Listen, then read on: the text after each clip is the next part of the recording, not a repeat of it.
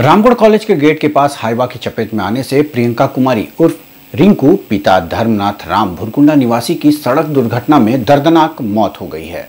जानकारी के अनुसार एक महिला रामगढ़ के पटेल चौक के निकट स्कूटी के शोरूम का उद्घाटन करने का मन बनाई थी।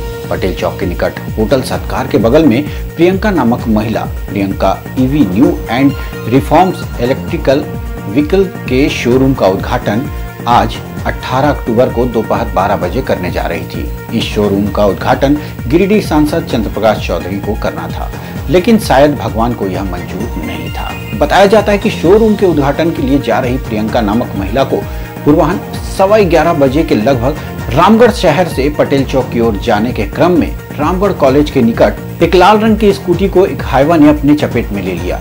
प्रत्यक्षदर्शियों के अनुसार हाईवा स्कूटी पर बैठी महिला के ऊपर से पार कर गया। जिसकी घटनास्थल पर ही मौत हो गई। वहीं स्कूटी पर बैठे एक युवक को भी गंभीर चोटें लगी हैं, जिसे सदर अस्पताल भेजा गया है। वहीं स्कूटी को धक्का मारकर भाग रहे हाईवा ट्रक को लोगों ने पीछा कर रामगढ़ कॉलेज के पीछे की तरफ़ पकड़ लिया। दुर्घटना के बाद रामगढ़ कॉलेज के निकट रामगढ़ रांची मार्ग जाम हो गया। वहीं बड़ी संख्या में लोगों की भीड़ लग गई। खबर तीन सौ पैंसठ न्यूज़ के लिए रामगढ़ से मंसूर खान की देखे रिपोर्ट।